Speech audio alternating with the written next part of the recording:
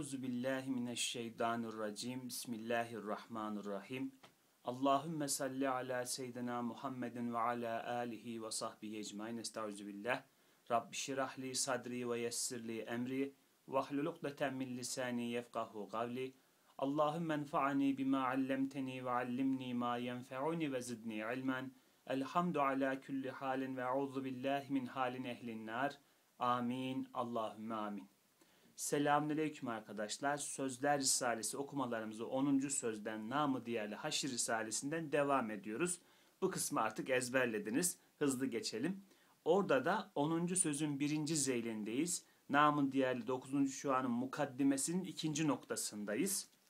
İkinci nokta ne hakkındaydı hatırlarsak özellikle Allah'a iman, meleklere iman, kitaplara iman ve bunun açtığı pencereden diğer akaid umdelerinin ahirete imanla ilişkisini anlatıyordu. Yani bunlara iman etmenin ahirete iman etmeyi zaruri kıldığını, onlardan bunlara açılan, hatta akaid umdelerinin her birisinden diğerine açılan kapılar olduğunu, pencereler olduğunu bize anlatıyor, bize öğretiyordu elhamdülillah. Orada artık metnin sonuna yaklaştık. Zeyl'in ikinci parçasına geçmemize az kaldı. Ee, bir iki sayfa diyelim var. Ancak tabii ki de bir derste ikinci iki sayfayı birden bitirmemiz çok zor, ender, nadir olduğundan e, ben yine bir miktar okuyacağım. Sonra da tekrar okuduğum kısmın başına dönüp e, orada daha ince tefekkür etmeye çalışacağız. Elbette lütfu ilahi ile oluyor bu. Cenab-ı Hak kabımıza, göğsümüze, aklımıza, e, latifelerimize ne verirse biz de arkadaşlar sizlere onları arz etmeye çalışıyoruz. Büyük iddialarımız yok. Cenab-ı Hak ne verirse kıymetini bilmeye gayret ediyoruz. Başlayayım okumaya. Bismillahirrahmanirrahim. Elbette ve elbette ve herhalde iman billahın yüzer nüktesinden bu sekiz mademlerdeki hakikatlerin muktezasıyla kıyamet kopacak. Haşir ve neşir olacak. Dar mücazat ve mükafat açılacak.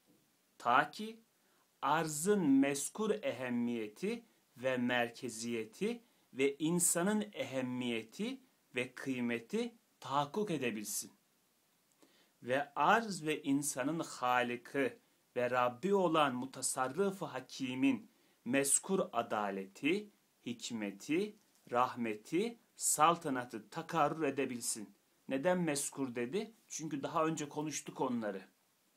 Ona atıf yaparak söylüyor. Elbette bu dersle başlayanlar metnin sadece son kısmıyla muhatap olduklarından buraları acayip bulabilirler. Önceki derslerimize atıf yapalım. Ama şu da var Risale-i Nur'da. Neredeyse her bir bölüm, her bir paragraf e, böyle bir benzetme yapmak doğru mu bilmiyorum ama Üstad Hazretleri'nin elbette Kur'an'dan metodoloji olarak aldığı dersler var. Çünkü Kur'an e, hepimizin öğretmeni. Elbette Bediüzzaman Hazretleri'nin de öğretmeni. Oradan sadece içerik değil metot olarak da istifade ediyor Bediüzzaman Hazretleri. Eserlerinde bunu görüyorsunuz. Mesela nasıl kısa sureler hatta ekser sureler Kur'an'ın ana gayelerini kendilerinde saklarlar. Onlarla muhatap olduğunuzda Kur'an'ın tamamıyla muhatap olmuşçasına ana dersleri alabilirsiniz. ince şeyleri de ehli görebilir. Bu mümkündür. Bediüzzaman Hazretleri de bunu kısa sureler bahsinde izah ediyor. Bu sureler neden var? Kur'an'ın ekserine hakim olamayanlar diyor. Bunlar sayesinde o şeylere, bilgilere hakim olabilirler bir nebze de olsa. Aynı metodoloji Risale-i Nur'da da var. Eserin tamamına 14 cilde hakim olamasanız bile mesela Haşir Risalesi, hatta onun içindeki bölümler hepsinden, bütünden, e, külliyetten haber veriyor. Bunlar neye dairdi, ne anlatıyordu? Ufak ufak işaretler, yollar, kapılar açılıyor. O yüzden bir esere hakim olduğunuz zaman külliyatın tamamına hakim olmak elbette tam kendisi olmaz ama e, ya sanki kapısından da girmiş oluyorsunuz. Böyle bir kokusunu alıyorsunuz. Metinleri tanıyorsunuz. Evet gayeler bu, amaçlar bu, söylenenler bu diye bir fikir sizde oluşuyor. Metinlerin böyle bir özelliği olduğundan da burada bir aralık olarak parantez açma olarak bahsedelim. Ee, tekrar metnimize dönelim. Güya okuyacaktık önce. Yine izah girdi araya. Ta ki arzın meskur ehemmiyeti ve merkeziyeti ve insanın ehemmiyeti ve kıymeti tahakkuk edebilsin. Ve arz ve insanın halıkı ve Rabbi olan mutasarrıf hakimin mezkur adaleti, hikmeti, rahmeti, saltanatı takarrur edebilsin. Ve o baki Rabbin mezkur hakiki dostları ve müştakları idamı ebediden kurtulsun. Ve o dostların en büyüğü ve en kıymetdarı, bütün kainatı memnun ve minnettar eden kutsi hizmetlerinin mükafatını görsün. Kim bu? Efendimiz Aleyhisselatü Vesselam elbette. Ve Sultanı Sermedi'nin kemalatı, naks ve kusurdan ve kudreti aczden ve hikmeti sefahetten ve adaleti zulümden tenezzüh ve takaddüs ve teberri etsin. Konuşacağız. Elhasıl madem Allah var elbette ahiret vardır. Elhasıl toplayıcı bir cümle madem Allah var elbette ahiret vardır. O onu gerektirir yani. Hem nasıl ki meskur üç erkanı imaniye onları ispat eden bütün delilleriyle haşre şehadet ve delalet ederler. Öyle de ve bima melaiketi vel kaderi ve bima ve bi melaiketihi ve bil kaderi hayrihi ve şerrihi minallahi teala. Ne bunun manası? Amentü'den zaten biliyoruz. Meleklere ve kadere hayır ve şerrin allah Teala'dan geldiğine inanmak olan iki rükni imani dahi haşri istilzam edip kuvvetli bir surette alemi bekaya şehadet ve delalet ederler. Şöyle ki, burada başka bir bahis açılıyor. Bir miktar okuyalım yine de ama konuşacağımız kısım daha çok ilk kısım olacak. Melaikenin vücudunu ve vazife-i ubudiyetlerini ispat eden bütün deliller ve hadsiz müşahedeler, mukalemeler dolayısıyla alemi ervahın ve alemi gaybın ve alemi bekanın ve alemi ahiretin ve ileride cin ve ins ile şenlendirilecek olan dar saadetin ve cennet ve cehennemin vücutlarına delalet ederler. Çünkü melekler bu alemleri izni ilahi ile görebilirler ve girerler. Ve Hazreti Cebrail gibi insanlarla görüşen umum meka, melaike-i mukarrebin, meskur alemlerin vücutlarını ve onlar, onlarda gezindiklerini müttefikan haber veriyorlar. Görmediğimiz Amerika kıtasının vücudunu ondan gelenlerin ihbarıyla bedihi bildiğimiz gibi, yüz tevatür kuvvetinde bulunan melaike ihbaratıyla alemi bekanın ve dar ahiretin ve cennet ve cehennemin vücutlarına o katiyette iman etmek gerektir ve öyle de iman ederiz diyoruz ve burada bir fasıla veriyoruz. Metnimizin finaline dediğim gibi çok yaklaştık. Hatime olmak üzere bu metin için söylüyorum. Haşir Risalesi'nin daha mesafesi var.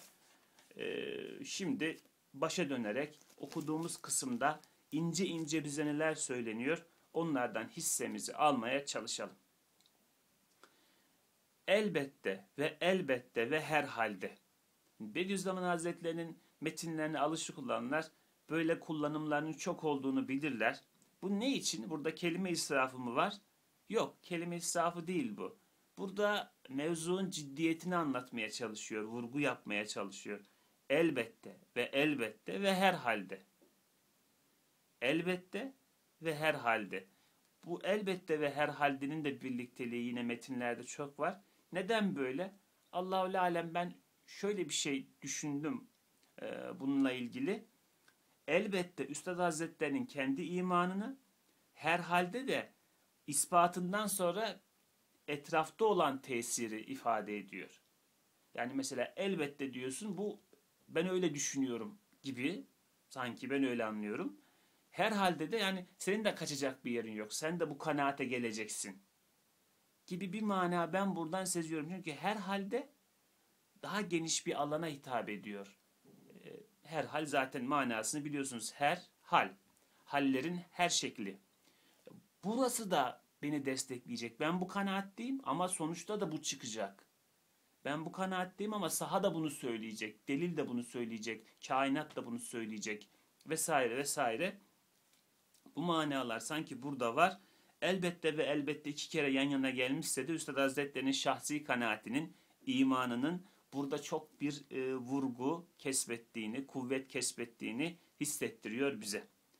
Elbette ve elbette ve herhalde imanı billahın yani Allah'a imanın yüzer nüktesinden nükte ince mana demek. Yüz tane ince mana yani yüz de çokluktan kinaye. Yüz, bin, yüz bin, kırk bin, kırk. Arapçada bunlar hep çokluktan kinaye.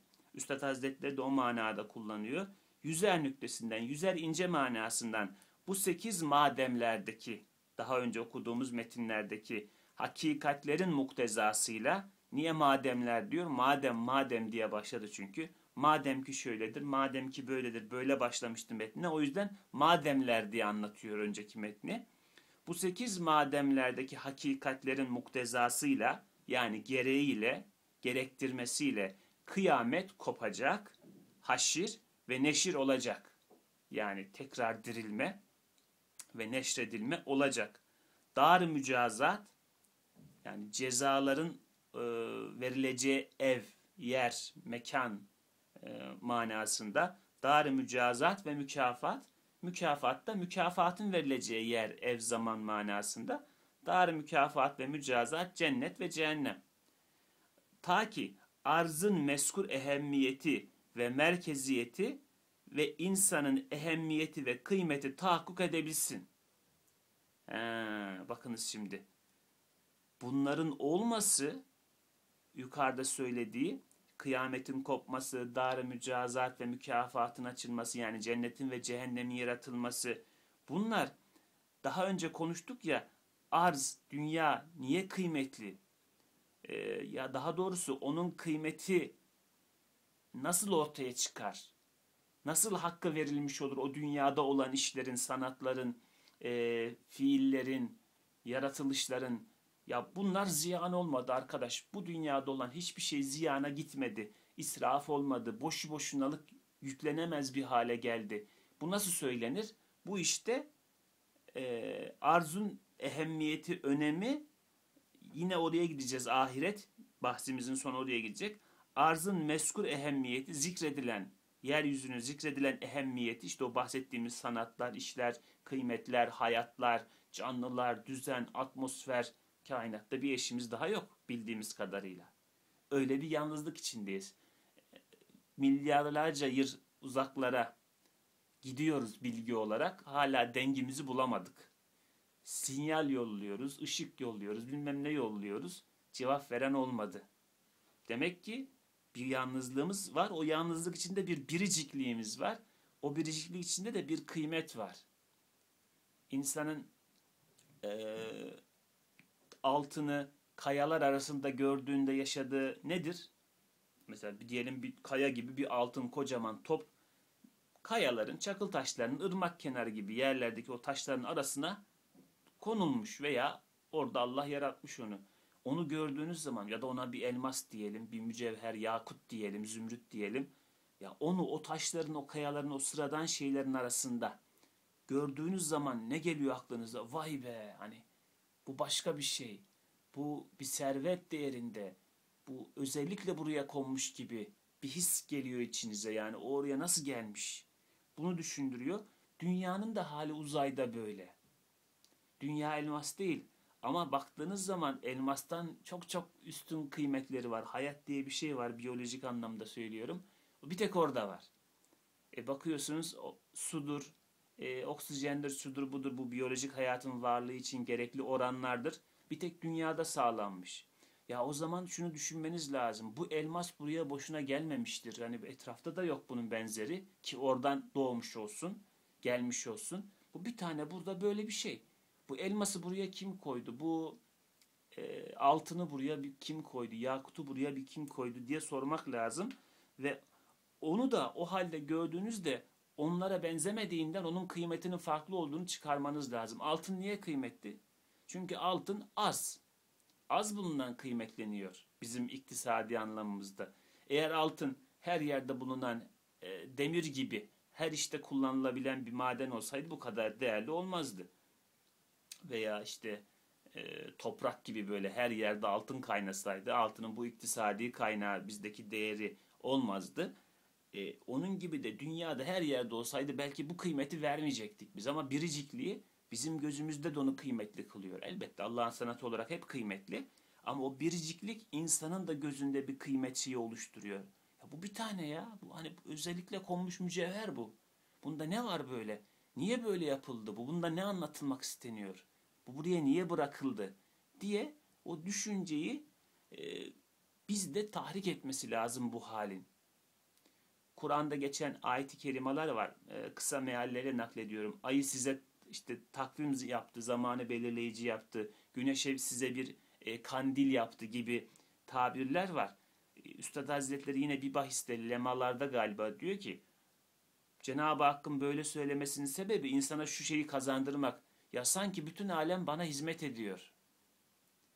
Evet ben çok küçük, hakir, cismen, zayıf, aciz bir canlıyım ama ya koca güneşin benim hizmetimde olması acayip bir iş. Ayın bana bu faydayı sağlaması acayip bir iş. Yani tam kıvamında. Ayı çekin, Merkür'ü koyun veya ayı çekin, Venüs'ü koyun yerine o çekim kuvvetinden denizler taşar, karaları aşar, fırtınalar şunlar bunlar o çekim güçlerinin gücünden dolayı çok kötü olurdu. Ay öyle bir kıvamda konulmuş ki e, tam yeteri miktarda denizi hareketlendiriyor. Denizin de hareketli olması lazım. Medcezir lazım, dalga lazım. O sağlığı için. Dalga denizin nabzıdır demişler. Onun olması için ay lazım ama ayın da çok büyük olmaması lazım tam kıvamında. Bir de şu var. Bunu da e, Hani Tanrı ölmüştü diye bir kitapta okumuştum. Yabancı bir yazarın söyleşilerinden oluşuyordu. Yine yabancı bilim adamlarıyla. Orada dikkat çekiliyordu. Yani tutulma anında baktığınızda güneş ve ay tam birbirini kapatıyor. Yani ay öyle bir yerde ki ebadıyla beraber öyle bir yerde dönüyor ki güneş de ebadıyla beraber öyle bir yerde duruyor ki dünya da ebadıyla öyle bir yerde dönüyor ki tutulma anında tam kapatıyor. Yani sanki tencere kapak gibi. Ya bu bile demiş oradaki bilim adamlarından birisi ya epey bir şey söylüyor bize. Ya bu oran ayarlanmış gibi duruyor yani. Gibi gibi vesaire. Arayan için elbette Cenab-ı Hakk'ın ayetleri nefesler sayısıncadır. Tekrar metne dönelim. Küre arzın meskul ehemmiyeti ya bu arzda bir başkalık var, bir önem var ve merkeziyeti. Değil mi? Hayat açısından bir merkeziyeti var. İbadet açısından bir merkeziyeti var. Velev ki güneş sisteminin merkezinde olmasın ama böyle bir gezegenin var oluşu ancak burada olabilir. 10 adım gerisinde, 20 adım ilerisinde değil. İleri gitse yanacak, geri gitse donacak. Tam yerinde. Ve insanın ehemmiyeti, onun içinde de insan ve kıymeti tahakkuk edebilsin.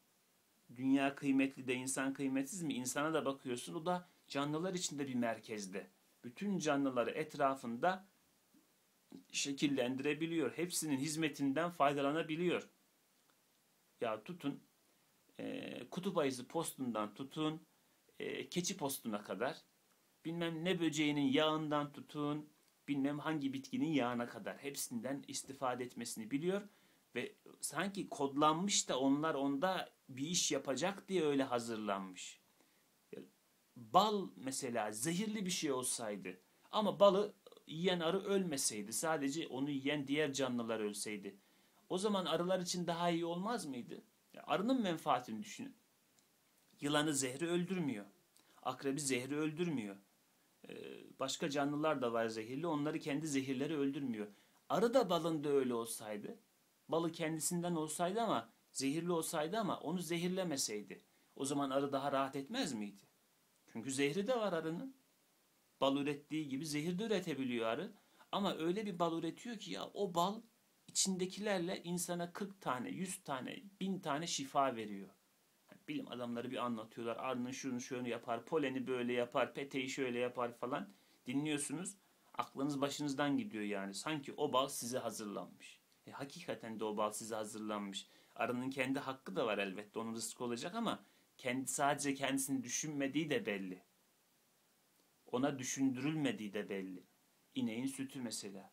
İnek sütü Neye mecbur ki üretsin? Yani onu ne mecbur eder süt üretmeye? Tamam yavrusu varken üretsin. Yavrusu yokken ne mecbur ediyor onu? Ama üretiyor. O süt onda hep var.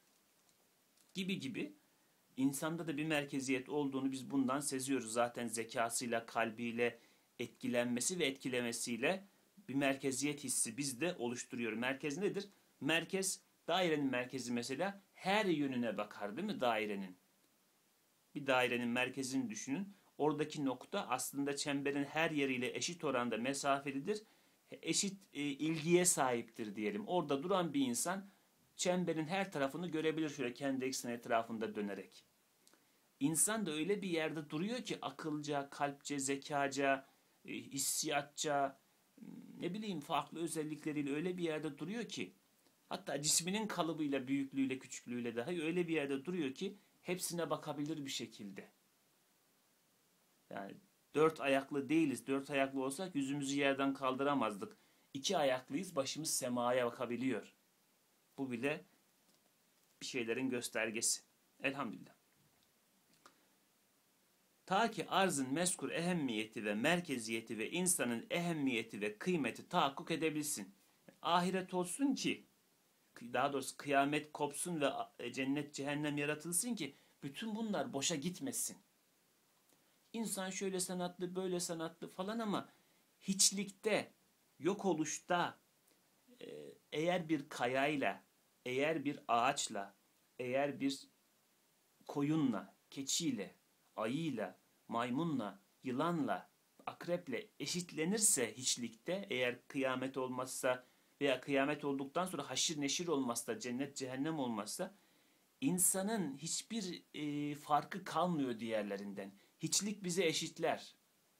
Bakınız nasıl ölüm, zengin fakir, genç yaşlı, çocuk ihtiyar ayrımı yapmıyor. Ölüm geldiği zaman hepimiz eşitleniyoruz. Aynı muamele oluyor yani. Elbette ameline göre, durumuna göre ona müekkel, onunla e, vazifeli melek, eceline vazifelendirilmiş meleğin muamelesi farklı oluyor ama Hz. Azrail Aleyhisselam'ın veya yardımcılarının muamelesi farklı oluyor ama e, yine de ölüm hadisesi bizi bir eşitliyor, bir topluyor. Hepimiz ölüyoruz. Bunda fark yok.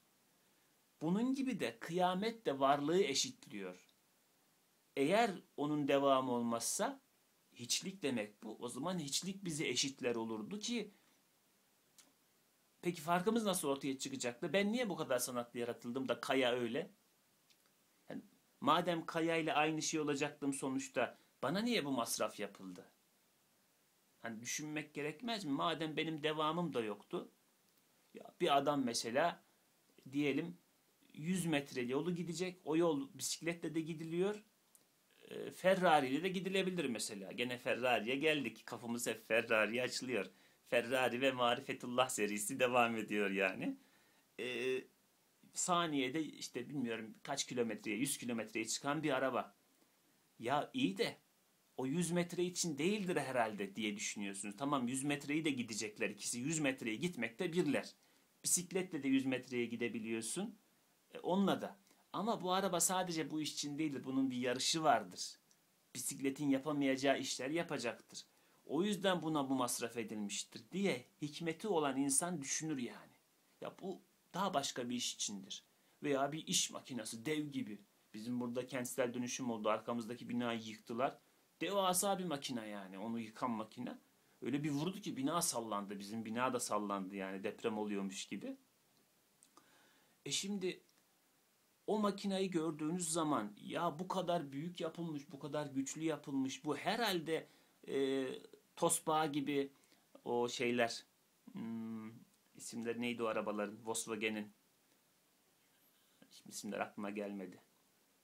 Ee, onlar gibi aynı işi yapacak değildir. O küçük arabalarla aynı işi yapmak üzere değildir. Bir mobiletle aynı işi yapmak üzere değildir. Bunu insanın hikmeti düşündürüyor gördüğü zaman, fonksiyonlarına baktığı zaman e, diyor ki bundaki amaç daha farklı bir şeydir. Şunda daha şöyle bir amaç vardır. Tasarımına bakarak bile bunu çıkarabiliyor. İnsanoğlu dünyada kendi işlerinde bile bunun tasarımını şöyle yapmışlar o zaman bunun şöyle bir amacı daha vardır falan diye düşünebiliyor. Topa bakıyor ya diyor bu top ağır gidiyor bu diyor herhalde ayakla oynanmak için değil. Bu herhalde basket topu. Veya bakıyor ya bu basket topu değildir bu diyor havaya atılmıyor. Bu herhalde ayak topu. Topta bile bunu ayırabiliyorsunuz değil mi baktığınız zaman? E şimdi bu var, o var, şu var bu kadar tasarımdan çıkarabildiğin şeyler var. Döndün dünyaya dedin ki ya taş da aynı netice, insan da aynı netice için. Ne oldu? Ya sahada kullandığın hikmeti sen Allah yolunda, varlık yolunda, varlığı anlamada. Hadi dini tarafını bir yere koyayım. Varlığa bakarken kullanamamış oldun. Kullanmak lazım. Niye kullanmadın? Niye orada fonksiyonunu iptal ettin? İşte arkadaşlar e, İslam'dan ayrılmışlar olarak ateistler, deistler, şunlar bunlar sayın onların hepsini kafanızda tutun. Hepsinde bu arıza var. Bakıyor oraya. Tamam işte belki de 40 tane şeyi bilen bir adam böyle bilgili. Biraz da filozof böyle kibirli. Onu biliyor, bunu biliyor, şu niye yapılıyor biliyor. Onun tasarımına bakıyor, bir çıkarım yapıyor. Bunun şuna bakıyor, bir şey söylüyor. E dönüyorsun varlığa ben diyorsun, taş diyorsun, bitki diyorsun, ağaç diyorsun, abi diyorsun. Biz farklı farklı şeyleriz. Onda şöyle işçilik var, bende daha bak nasıl işçilikler var. Ben aynı amaçlı olabilir miyim ya diyor. Hiçlik hepimizi eşitleyecek. Kalmalım dünyadan. Nasıl eşitler? Sen bilen birisin. Demek ki bilmek istemiyorsun. Görmek istemiyorsun. Zaten lemalarda Bediüzzaman Hazretleri'nin ikinci lemada tespiti çok isabetlidir. Ee, inkar yani Allah'a inkar başta olmamak üzere diğer bütün akaid ümdelerinde düşülen inkarlar bir günahın müptelalığındandır. O günahın müptelalığı da ister ki ya bu günah kötü olmasın veya ben bundan ceza görmeyeyim. O da arkasında ister ki beni, cez beni cezalandıracak olan beni gören beni görmesin beni cezalandırmasın. En son diyor üstad şeye gider. Yani tatile yani Allah'ın varlığını inkar etmeye. Çünkü Allah ceza verecek nihayetinde. Ya bu günahdan vazgeçmektense ya Allah olmasa daha iyi olur haşa oraya gider diyor. O yüzden günahlardan tövbe edip kalbi temizlemek lazım. Günah yılan olur. Kurt olarak girer sonra yılan olur. Sahibini ejderha gibi sarıp yutar diyor. Adam o günahtan vazgeçmemek için e, dalalete sapıp gider, inkara sapıp gider. Kenan Demirtaş Hoca anlatmıştı galiba. Öyle birisiyle muhabbet etmiş. Adam sonradan ateist olmuş. Ee, arkadaşlar demişler ki ya Kenan Hocam sen bir konuş. Yani bunu ikna edersen sen ne dersin? Diyor muhabbet ettik ama diyor şeyi fark ettim. Ee, Kenan abiyle şifa duası edelim arkadaşlar. Yakın zamanda rahatsızlık geçirdi. Allah şifa versin. Tekrar hizmetlerine dönsün inşallah. Ee, fark ettim ki diyor adam aslında müptela. Konuşurken hani ağzından laf almaya çalıştım. En son söyledi. Ben dedi hani içki müptelasıyım. Alkoliyim. Çok seviyorum. Vazgeçemiyorum hani böyle. Burnumda tütüyor. Düşündüm ki diyor hani inkarı sapış hikayesini de böyle anlatmış. Ya böyle bir şey yasaklayan bir Allah var olamaz. Bu nasıl yasaklanır? Bu çok güzel bir şey. Buradan diyor ben dalalete saptım. Lan içkinin neresi güzel bir şey? Onun zararlarını saysan şimdi o vücuduna saysan ayrı.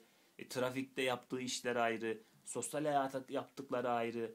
Yani insanın hayat yolculuğunu rayından çıkarıp aile hayatını felç eden, trafiği felç eden, yani her işimizi mahveden bir yönü var alkolün. Ama adam müptela olmuş işte. Diyor ki böyle güzel bir şey Allah nasıl yasaklar? Oradan diyor ben Allah'a inkara gittim. Cenab-ı Hak bizi öyle çukurlara düşmekten muhafaza eylesin arkadaşlar. Peki hala. Evet. Buraya nereden geldik? Elbette bu cümleden geldik. Ve arz ve insanın, ha şuradan geldik pardon. Ta ki arzın meskur ehemmiyeti ve merkeziyeti ve insanın ehemmiyeti ve kıymeti tahakkuk edebilsin. Ahiret olsun ki bunlar olsun.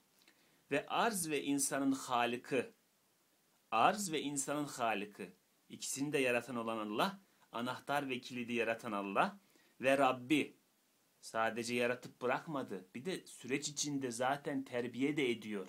ihtiyaçlarını karşılıyor. Ee, mesela Rab kelimesini biraz daha yakından kavramak için şöyle bir örnek vereyim. Bir makine yaptınız. Bu makinenin çalışmasını istiyorsunuz ama bu makine çalıştığı süreç boyunca koydum, çalıştırdım, düğmesini açtım, çalıştı olmaz. Ne olur? Ya parça sıkışır, kağıt sıkışır, kağıtta çalışıyorsa, yağ gerekir, ne, ne bileyim işte bir yerinin ayarını sıkmak gerekir, vidaları gevşer onları sıkmak gerekir, zaman zaman ayar yapmak gerekir. Makinenin ilk baştaki ortaya çıkışı hallakiyeti tasarımlanması, yapılması, ortaya çıkışı hallakiyete benzer biraz. Süreç içindeki o teşhis, tedavi, devam e, hizmetleri de yardımları da rububiyete benzer biraz. Yani o makinayı maksadına uygun çalışacağı için, çalışması istediğin için, o süreç içinde işlemesini istediğin için beslersin, yönetirsin, belki geliştirirsin de. Arada bir parça takarsın, bir şeyini çıkarırsın, geliştirirsin de. La teşbih ve la temsil. Cenab-ı Hak da bizi hallakiyetiyle yaratmış, Halik ismiyle yaratmış.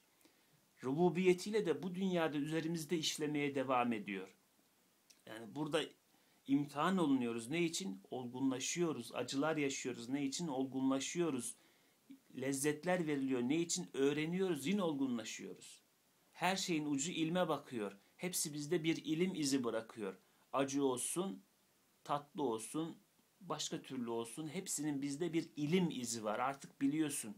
Acıyı da biliyorsun, tatlıyı da biliyorsun. Acının şu, şu türlerini biliyorsun, tatlının bu bu türlerini biliyorsun. Gülmeyi biliyorsun, ağlamayı biliyorsun, hüznü biliyorsun, şen şakraklığı biliyorsun vesaire. Türlü türlü hisler. Siz daha çoğunu bilirsiniz. Hepsi aklınıza gelsin. Bunlar bizi o rububiyetle geliştiriyor aslında. Telefonu aldın. Maşallah. Hallakiyet örnek. O telefon elindeyken güncelleme geliyor falan vesaire. Uygulama yükleniyor şu bu. O da rububiyete örnek olarak düşünülebilir. La teşbih ve la temsil. Bunlar işi fehmimize yaklaştırmanın bazı araçları. Ve, ve arz ve insanın halıkı ve Rabbi olan mutasarrıf hakim, hikmetle tasarruf eden, mutasarrıf hakim, iyisinde şapka var. Hakim olsa hükmeden olur. Hakim olduğu zaman hikmetle yapan oluyor. Hikmet ne demek? Yerli yerinde olması, amaçlarla olması, abesliğin onda olmaması, boşu boşunalığının onda olmaması gibi manalara geliyor. Mutasarrıf hakim, hikmetle tasarruf eden meskur adaleti, onun zikredilen adaleti önceki metinlere atıf var burada. Hikmeti, rahmeti, saltanatı takarrur edebilsin. Dedik ya oraları konuşurken dünyada olan yarımlık bazı şeylerin yarım kalması Cenab-ı Hakk'ın diğer eserlerinde gören görülen e, adaletin, e, hikmetin, rahmetin, saltanatın tam e, nasıl diyelim kavranamamasına sebep oluyor. Ahiret düşünülmezse. Mesela biz bakıyoruz adalet, düzen birbirisiyle ilgilidir yani. E, düzen ad, adaletin getirisidir. Adalet varsa düzen olur, keyfilik olmaz e, nesne kendini yalanlamaz kendisi olmakta, düzen kendini yalanlamaz kendisi olmakta, kanun kendisini yalanlamaz kendisi olmakta. Bir öyle bir böyle olmaz. Bir mahkemeye gittim, birisine ceza verdi aynı suçtan, diğeri geldi ona da mükafat verdi. Ya dersin bu nasıl adalet? Bak keyfilik oldu. Bir öyle bir böyle. Ama kainata bakıyoruz mü müthiş bir düzen var. Bir öyle bir böyle yok. Ben de koyuyorum eşyamı burada duruyor gerçekimi kanunuyla. Antarktika'daki adam da eşyasını koyuyor. Ne varsa eşyası artık. Ne balık mı tutmuş ne yapmışsa onu koyuyor. O da duruyor yerinde. Bak, çelişki yok. Bu nedir? Bu tutarlılık adaletin getirisidir. Ama bir de şöyle bir olay oluyor bazen. Bir zalim mazluma zulmediyor. Ölüyor ama ölene kadar yaşadığı süreçte o zulmünün cezasını görmüyormuş gibi gör, duruyor. E şimdi diyorsun ki ya bir tarafta adalet var ama bir tarafta da bu var. E, ne yapacağım ben şimdi? Normalde yapman gereken e, o eksik olanı, arıza olanı bütüne bakarak yorumlamak. Diyeceksin ki ya varlığında bu kadar adil olan bir Allah bunu böyle bırakmaz. Bunun tamamlanacağı, bu tasarımın tamamlanacağı bir yer olmalı. Bu adamın zulmünün cezasını göreceği, mazlumun hakkını alacağı bir yer olmalı. Bunu düşünmen lazım. Mantıklı olan bu. Ama ne yapıyor ateistlerimiz, şunlarımız, bunlarımız artık türlü türlü oldu onlar. Sayıları çok fazla. Agnostikleri bilmem nedir. E, sözlükten isim seçiyorlarmış gibi 40 fırkaya ayrıldılar. 70 fırkaya ayrıldılar. Şimdi onlar ne yapıyorlar? Arızaya bakıyor. Diyor ki ya diyor savaşlar niye var Allah varsa. Ya savaş var ama savaşın da bir hikmeti var. Sen Allah'ı Celle Celaluhu sadece çiçek böcek yaratan bir Allah olarak mı görüyorsun? Allah'ın celali isimleri de var. Kahhar ismi var. Ee, ne diyelim? Azizün, Azizün intikam var. intikam alıcı. Ee, onun dışında ya bir sürü Cenab-ı Hakk'ın celal gerektirir. Öyle hadiseleri de iktiza eder. İsmi var. Onlar oluyor ama onların arkasından da yine rahmet tecellileri oluyor. O mazluma, mazlumiyeti mesela şehide şehitliği veriyor. Ama o şehitliğin karşılığında daha neler veriyor? Evet şehitlik celalli bir hadise. Allah korusun geçen bir askerimiz şehit oldu mesela Şırnak'ta galiba havan mermisiyle. E, mermi geldi belki vücudunun bir yerlerini parçaladı. Cenab-ı Hak rahmet eylesin. Ama kim bilir cennette onların yerine ne kanatlar verilecek. Şimdi bu ne oldu? Tamamlandı orada. Adalet eksik gözüküyordu. Orada tamamlandı. Öyle olması lazım. Bunu düşünmek işte ahirete bağlanıyoruz buradan. Adaleti, Cenab-ı Hakk'ın hikmeti, kainatta görüyoruz bunları. Her ilim, her bilim bunu anlatıyor zaten. Rahmeti, saltanatı takarrur edebilsin. Yani burada o eksik görükenler orada tamam et, tamam olsun ve daimi olsun. Burada eğer hiçlik olursa yine eksik kalır onlar. Rahmet mesela. Allah yarattı insanı dünyada çeşit çeşit nimetlerle tanıştırdı. Önce varlıkla tanıştırdı. Sonra insanlıkla tanıştırdı. insan olmakla tanıştırdı. Nimetlerle tanıştırdı. Gülmeyi öğretti. Ağlamayı öğretti. Sevmeyi öğretti. Fit, hiç etti. E şimdi ne oldu o rahmet? Bak şeye dönüştü. Ya madem vermeyecektin niye gösterdin oldu. Hani derler ya ya madem yapamayacaktın niye vaat ettin? Veya madem yediremeyecektin niye kokusunu verdin? Bizde burun hakkı vardır derler ya yiyeceklerin kokusunu niye verdin? Madem bir lokma ikram etmeyecektin niye verdin? Gibi gibi. Ya da çocuklara mesela vermeyecektin o şekeri niye gösterdin çocuğa? Çocuğun nefsini uyandırdın. Bu bir adaletsizlik bunu kavruyoruz. Cenab-ı Hakk'ı böyle yapmaktan elbette tenzih etmemiz lazım. Cenab-ı Hak böyle yapmaktan, böyle tasarruf etmekten mukaddestir, münezzehtir diye düşünmemiz lazım. İşte o da burada söyleniyor. Ve arz ve insanın halıkı ve Rabbi olan mutasarrıf hakimin meskur adaleti, hikmeti, rahmeti, saltanatı takarrur edebilsin, karar bulsun. Orada ezeli, e, ebedi olarak e, Cenab-ı Hak ezeli ve ebedidir ama cennet ve cehennem ebedi olacak. Ezeli diye sonradan yaratılmış olacaklar. Ama devam edecek onların e, üzerinde Cenab-ı Hakk'ın Esma-ül Hüsna tecellisi, sıfat ilahi tecellisi devam edecek. Saltanat karar bulacak. Takarrur o demek herhalde. Dur bakalım. Sözlükten de söyleyelim. Evet karar bulma, sağlamla yerleşme. Sayfa altı sözlüğün böyle bir avantajı var. Ee, ve o baki Rabbin meskur hakiki dostları ve müştakları idam ebediden kurtulsun. Ya Cenab-ı Hak kendini sevdiriyor, sürü nimet veriyor. Belli ki varlığı seviyor, onlarla da kendini sevdiriyor. Peki bunları niye hiç etsin? Doğru cevap ne? O baki Rabbin, o sonsuz Rabbin, meskur hakiki dostları, orada bahsedilmişti enbiya, evliya, asfiya vesaire, müminler, mümineler ve müştakları, onu sevenler idam ebediden kurtulsun. Ya sonsuz bir Allah, madem onları seviyor, madem onlara kendini sevdirmiş, onlar da onu seviyor, ya bunları niye hiçliğe atsın? Ebedi dost kılmaya gücü yeter. Hem belli ki kendisinin de memnuniyeti münezzehesi bu yönde. Yani muhabbeti bu yönde. Mukaddes muhabbeti bu yönde. Varlıklarını istiyor ki yaratmış. Seviyor ki nimetlendirmiş. Seviyor ki kendini tanıttırmış, sevdirmiş. E niye hiç etsin bunları? Bir mantıksızlık yok mu burada? Haşa ya diyeceksin ki Allah aciz bunu yapmaktan. O zaman nasıl Allah? Yaratamıyorsa niye böyle yani bu kadar acizse nasıl ona Allah denir? Haşa. Allah olan böyle acizlikten zaten münezzeh olmalıdır ki Allah olur. Ya da diyeceksin ki e, ben yanlıştayım. Doğrusu da zaten bizim yanlışta olduğumuz, daha öyle düşünenlerin yanlışta olduğu biz elhamdülillah imanlıyız. Elhamdülillah Cenab-ı Hak bizi Müslüman yaratmış. Öyle bir ailede var etmiş. Ama aksini düşünenler yanlış düşünüyor. Onlara dikkat çekelim. Ee, meskur hakiki dostları ve müştakları idamı ebediden e, ebedi idamdan, hiçlikten kurtulsun. Ve o dostların en büyüğü ve en kıymettarı, bütün kainatı memnun ve minnettar eden kutsi hizmetlerinin mükafatını görsün.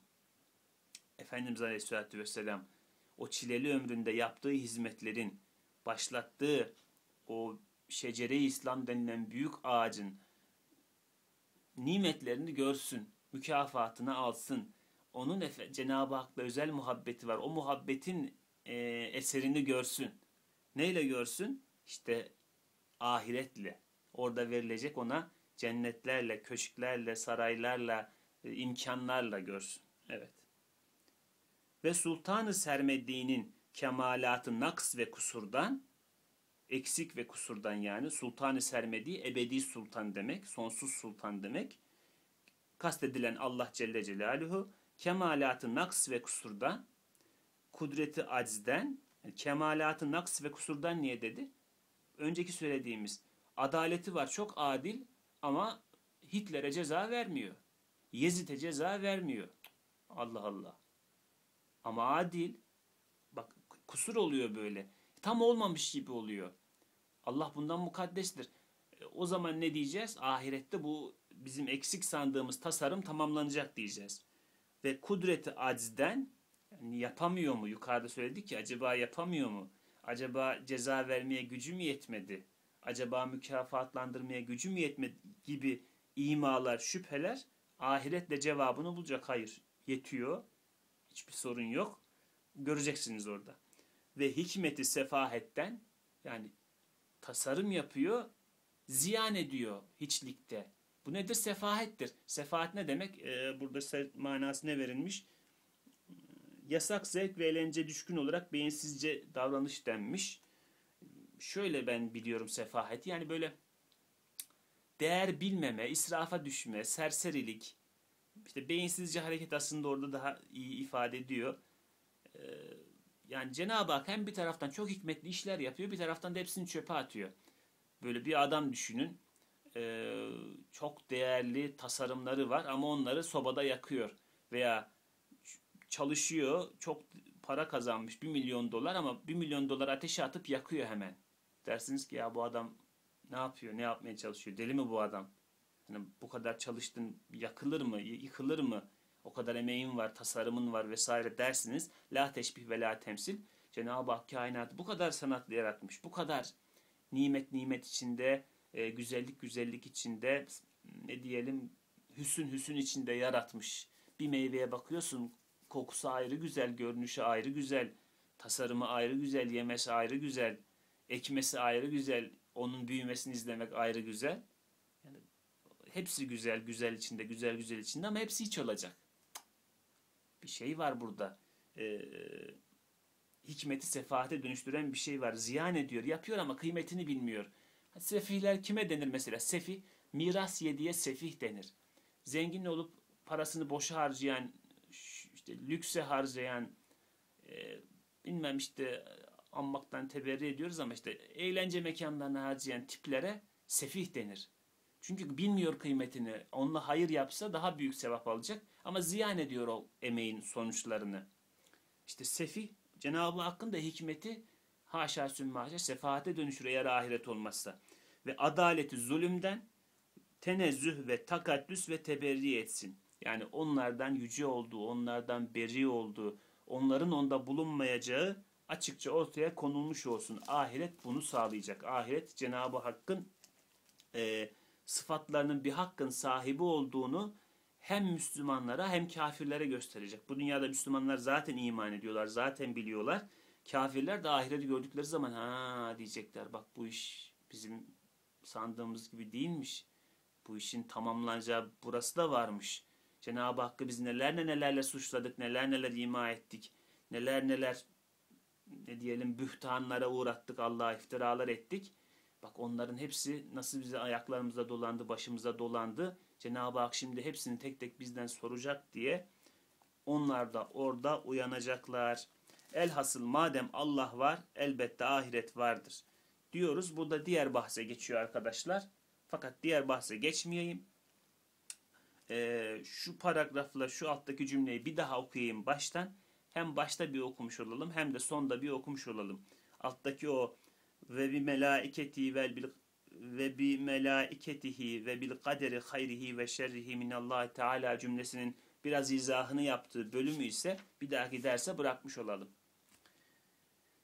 Elbette ve elbette ve herhalde imani billahın yüzer nüktesinden bu sekiz mademlerdeki hakikatlerin muktezasıyla kıyamet kopacak, haşir ve neşir olacak, dar mücazat ve mükafat açılacak. Ta ki arzın meskur ehemmiyeti ve merkeziyeti ve insanın ehemmiyeti ve kıymeti tahakkuk edebilsin. Ve arz ve insanın halikı ve Rabbi olan mutasarrıf hakimin meskur adaleti, hikmeti, rahmeti, saltanatı takarrur edebilsin. Ve o baki Rabbin meskur hakiki dostları ve müştakları idam-ı ebediden kurtulsun. Ve o dostların en büyüğü ve en kıymettarı bütün kainatı memnun ve minnettar eden kutsi hizmetlerinin mükafatını görsün.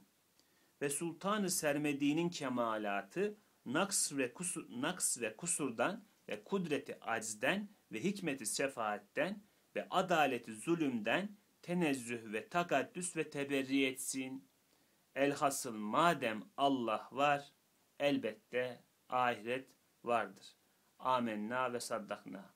Subhaneke la ilme lena illa ma allamtena inneke entel alimul hakim ve ahiru da'vah menilhamdülillahi rabbil alemin. El Fatiha.